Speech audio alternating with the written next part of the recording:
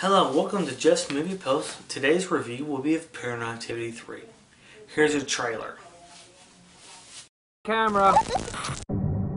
Something's going on. What do you think it is? Do the knocking game you showed me, remember?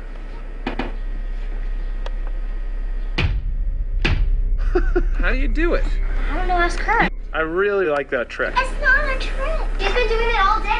There was something in the house. Kristi's like connected. A real life poltergeist. She's like Carol Anne. I just gotta film this stuff. I set up my cameras around the house, right? I can maybe capture something. Yeah.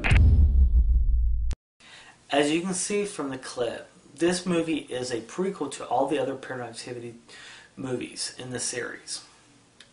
It evolves around the little girls, their stepdad, the mother, the grandma in the story, and a really freaked out babysitter. um, really, this movie, from the clip, you know, shows the the entity. I'm not going to say it's a ghost or a devil or what it is. It's an entity. Uh, what it does, when it messes with the girls and all that. Let's go watch another clip from the trailer. Okay, what, seven?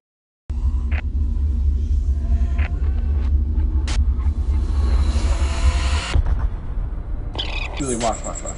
See that? What? Oh my god. what is going on? Hey, Kristi. I saw you talking to oh. somebody. Kinda.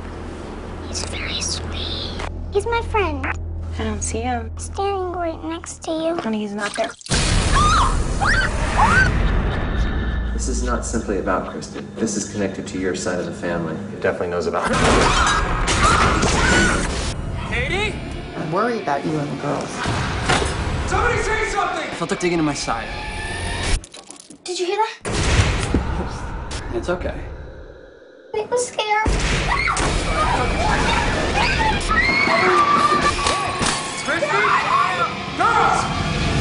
We're getting out of here. Let's get in the car and drive. all the clips in the movie, the things I really liked with this movie was was the little girls acting. They were really good acting in it when it was really supposed to be scary. You know, I'm not gonna give this a really high end review because you know it's the third in the saga. I give it about two and a half stars. One thing I really did not like about it was in the trailer, all the clips in the trailer was that um, are not in the movie, or not all of them in the trailer are in the movie. It will probably be on the DVD. I did not like the slow panning effect. I mean, it was kind of neat the first time, but over and over and over, and you're just staring there like, where, what's going to happen? You know, where is it? You know, is something going to happen? You know, you're just sitting there just looking, looking for any little thing to move, and think, oh, there he is or there it is, because we don't know if it's a guy or girl, or we don't know what it is really still. Um, and I really, you know, it it didn't delve into the backstory that we were hoping to see with this this movie, since it is a prequel where the the girls that are in the first two movies are little building children. It does a little bit in the backstory of what it could be, but there's still a major character in the storyline that we still have not seen in any of the previous movies. If this one does pretty well, they might do a Paranormal Activity 4. And I hope if they do do that, they delve more into that character that we don't see in any of the past movies. So, like I said, two and a half stars. It does go for the the cheap thrill of jumping at you or something like that. It, in my opinion, skip it.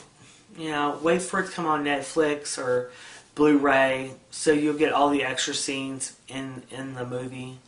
It might make a little more sense in the movie with the extra scenes. I hope if they do do it, I hope they do an extended version or a director's cut. But yeah, it would I pay to see this movie? No. I really wouldn't. That's it from Jeff Movie Post. Don't forget to join. Don't forget. Don't forget. And don't forget this either. To subscribe to our videos, go to the website, Follow us on Twitter, Facebook, and we will have an upcoming contest related to Boondock Saints 2 very soon. Be on out, be on the lookout for that video. Thanks, bye.